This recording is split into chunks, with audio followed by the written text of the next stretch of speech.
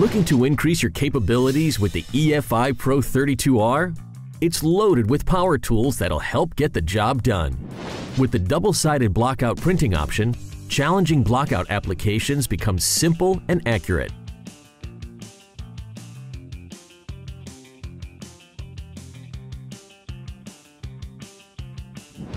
It starts with printing on side A of opaque media, where a pair of parallel stripes is printed before and after the image.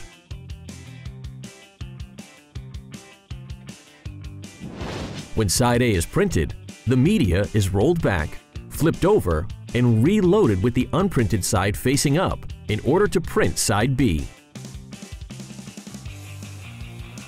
When side B printing starts, optical sensors use the two parallel stripes to determine the exact location of the side A image along the y-axis.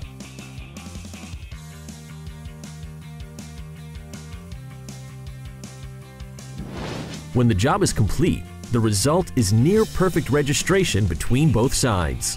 From POP, window and floor graphics to banners and billboards, you can print many applications with the EFI Pro 32R.